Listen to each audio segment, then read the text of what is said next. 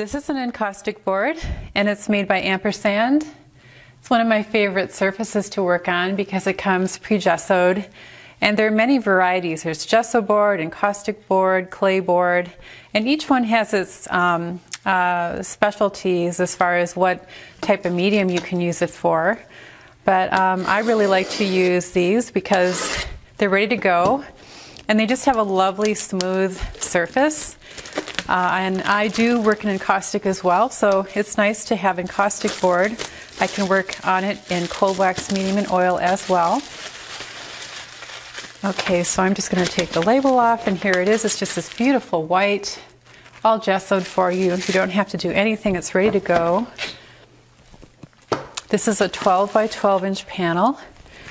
And this company also makes their own frames, their own floater frames, which is really nice um, because when you're done with it, they'll make a frame that, you know, fits it exactly. So I've got some leftover paint here, and I thought it'd be kind of fun just to um, play around.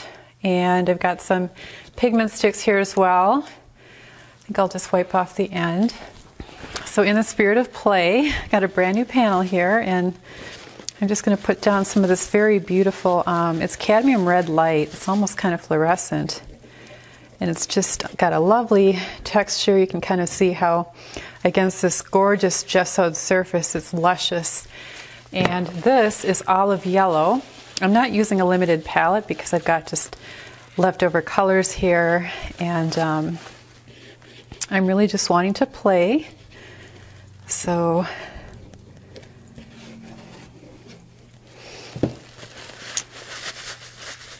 Got some leftover blue, which is ultramarine blue. I think I'll get out my brayer for that.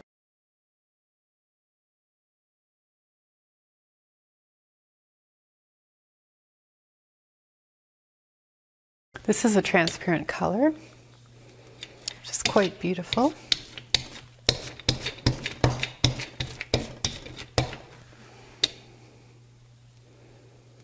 You kind of see that the pigment stick um, you, you, know, the blue is transparent and you can kind of see the, the pigment stick through it, depending on how hard you press.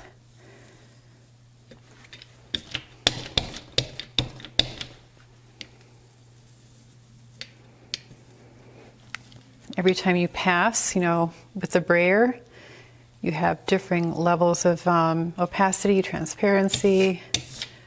It's just kind of fun to see what you get.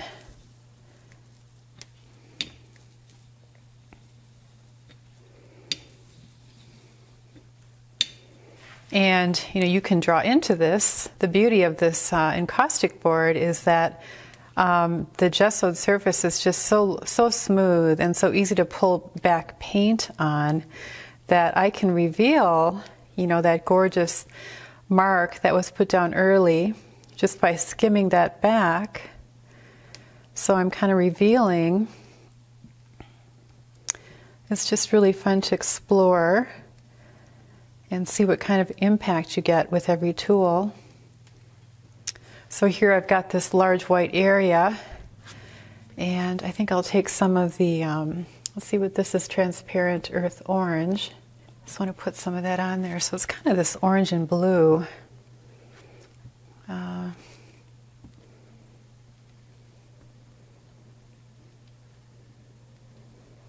again, you can pull it back.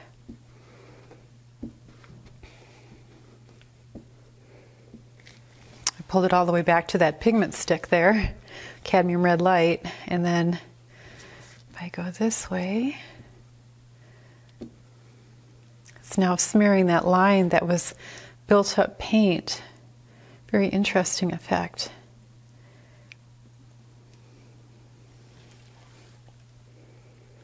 Maybe I want some red up there. I've got red in my palette as well which is not transparent, and it's actually, I'm mixing it quite a bit here with all the other colors that were put down. Sometimes I like to just see how quickly I can pull off a painting. You know, I, I, I have a lot of panels and I, I just want to um, get things going, uh, get a strong composition. It doesn't mean it has to take a long time. Sometimes things can happen quickly. I mean, I talk a lot about the play stage and explore, you know, and clarify, but there's nothing saying that that can't all happen in, in a very short amount of time. So that's the cool thing. There is no time limit. It's just, it's really just um, when you have what it is that you're looking for, that you can say you really like it, um, that's what counts. So, okay, so that got a little, um, a little mixed. Uh, it's not, certainly not saturated. I'm going to put my grayed down reds in a different area so they don't get mixed with the pure. Now if I take a pigment stick and I work back into this, let's see how that works. Um, this was put down first on the gessoed surface, but if I go into wet paint, you know, I don't expect it to be quite as, oh, there we go. I guess it does go pretty well on top of there. I thought it might slip and slide, but um, that's kind of cool. And then in this area here, I can always take a pencil and just work back into that. Mark making you can do, you know, at any time. This is with a pencil. This azo yellow again.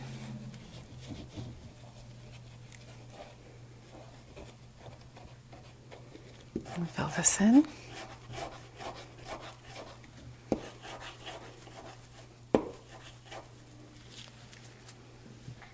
So if I want to keep working into wet paint, which is what this is right now, I have to kind of work thick into uh, thick, you know, thickish paint into what's here because otherwise um, it's not going to work very well. But I can mix on the panel here, can change that red a little bit.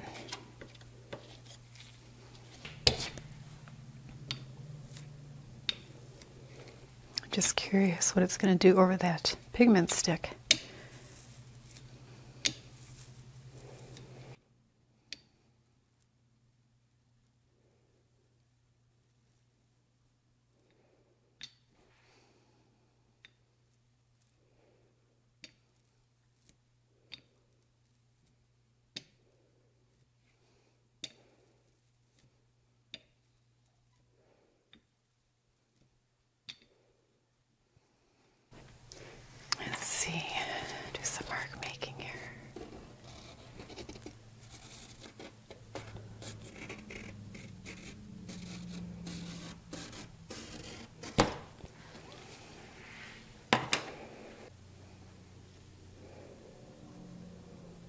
Want to smooth this out even more.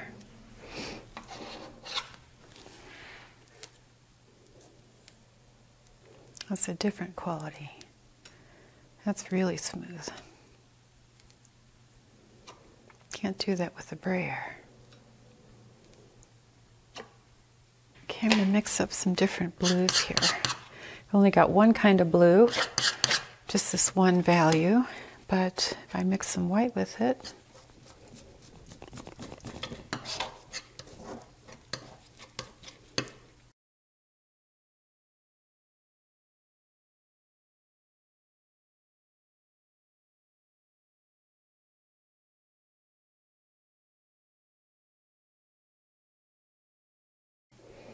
It's really a challenge to see how far I can go just with things wet into wet. Um, this is blue.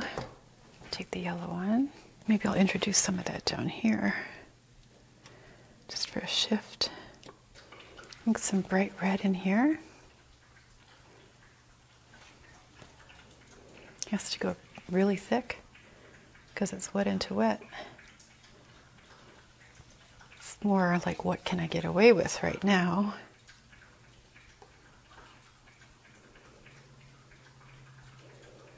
My palette knife is almost parallel to the surface. That's the only way to get away with what I'm doing when the paint is this wet. But I'm trying to see if I can, um, how many, you know, how many passes I can do making new shape, uh, even at this stage. This is rather thin. I could probably do something in there. Let's see, how about if I take a woody that's white, just out of curiosity if I can, I'm not sure if this will work, but I'm curious. Yeah, that works pretty well. I was wondering if I could get all the way down to the gessoed surface with this mark.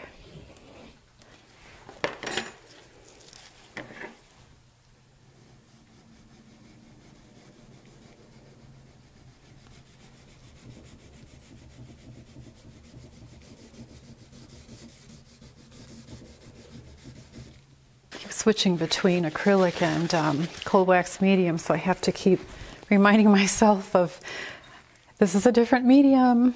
I got to do some things that are different now. I can't can't treat them the same way. Um, I want to take some of this beautiful transparent earth orange and take it up here. See what happens. It's going to kind of dull that blue. But then I can also lift quite a bit of it like this, almost down to the surface.